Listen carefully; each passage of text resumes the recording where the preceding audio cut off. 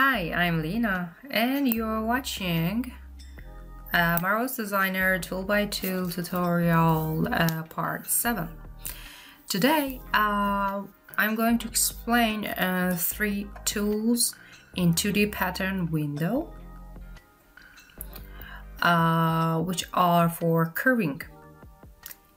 One of them is Edit Curve Point, that is shortcut is V. Another one is Edit Curvature, curvature, and then Smooth Curve. First, I'm going to start with Edit Curve tool.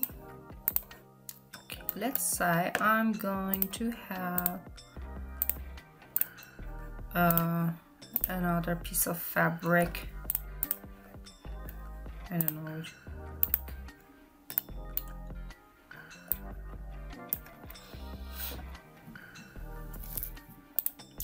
Okay, let's use edit curve point. Since usually I don't call them by their name, I when I'm going to explain them, I should read from this menu, edit curve point or V on the menu. Okay, how it works. It doesn't have a right click because when you right click the same uh, menu appears so we, we have just uh, left click. You should left click on a segment. Unfortunately, we don't here we cannot decide um, the distance between left and right of the point. So, but you have the numbers here. So let's say we're going to be here. You can either uh, click and drag or you can click like here click. And then drag other parts. If you see uh, both parts of your point uh, move. But there's another thing. That's why I don't use this tool a lot because it uh, makes it makes curve on both sides of my seg uh, of my point on the same segment. That's why I usually press X. Uh, it's another tool that I'm going to explain it later in another uh, tutorial. We are going to uh, today we are going to uh, learn on smooth curve. The next session is going to be add curve. So I press X and add a point. Then I press the next tool, C I press C and look uh, it just make curve in one side of my point and it doesn't affect others other uh, the, the rest of the segment so this is one of the reasons I don't use much this edit curve point and I usually use uh, the combination of uh, add point and edit curvature. So, um, so we now we understood that edit curve point is uh, affecting all the lines, all the points, and one of it's another difference. And another difference between um, let me say edit curve point and add point is that when I, if I click millions of times, when I go to the edit mode, you don't see anything here. Yeah, it's like uh, it's invisible. But uh, look at this, look at this point. If I press Z for edit pattern, that chooses also the points the, the one that I put here, the point that I put here with my add point, it remained. So I usually prefer to first add point and then select edit curvature. So uh, now edit curvature, which it's shortcut, it's C. It's simple. You just uh, drag, click and drag. The only problem is this thing that you are seeing. It's not that much clean sometimes. But for uh, small portions, it's good. I usually use this.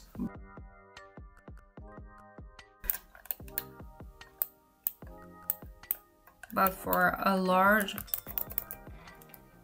but for large portions uh, I don't know it, right now I'm satisfied with what I'm seeing but sometimes it's like that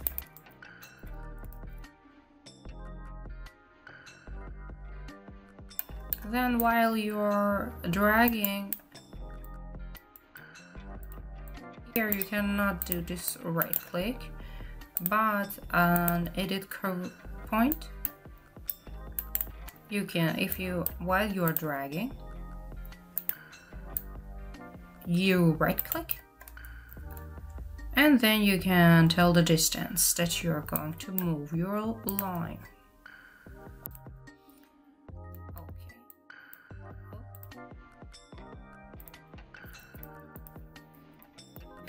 okay now I'm going to explain the smooth curve uh, no yes, it's just a smooth curve, which doesn't have any shortcut, unfortunately, but I use it a lot and I like it a lot. For example, I'm going to make a pocket. Oh my god, the worst, the worst color that I could choose. Um, no, okay, blue, I think it's great.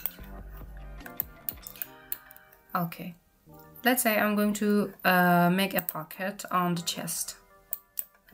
And I want these uh, uh, bottom corners to be curved.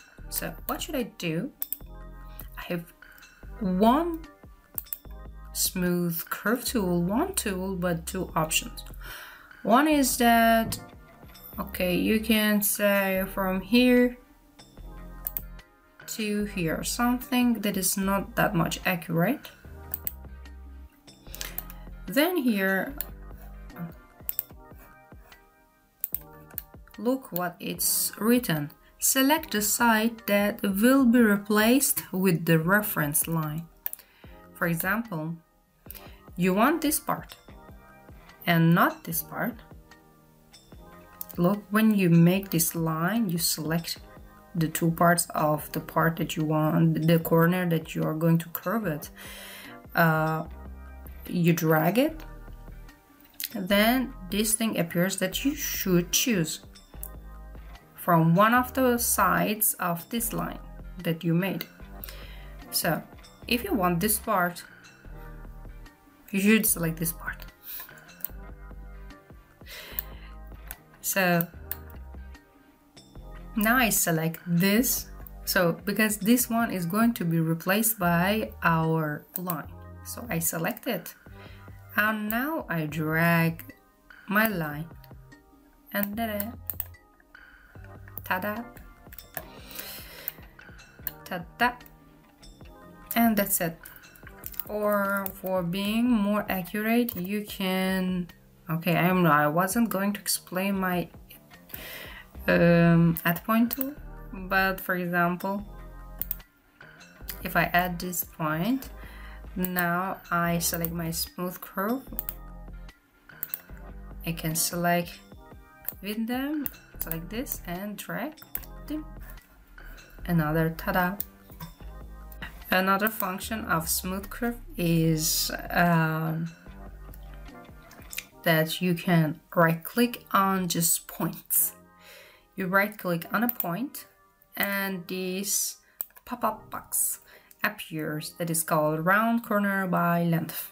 Here you can say the distance that you want from every side of this point.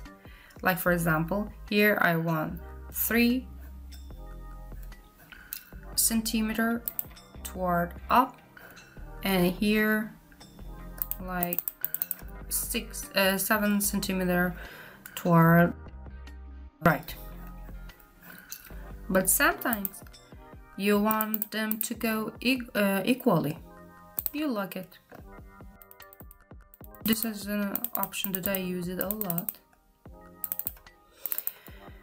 here I don't touch it because something like this. I don't know um, if you need it. I usually don't customize my settings. So that's what I prefer to just say I want I want three centimeter here another three centimeter here and it's a clean it's a clean thing really and then clone as pattern let's choose another fabric for it.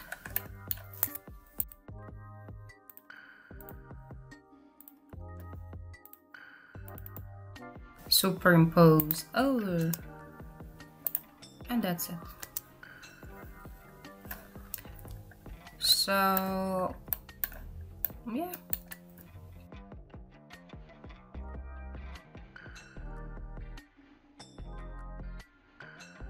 and that's it. So if you like this video uh, like and subscribe and let me know in the comment section and have a nice day. Bye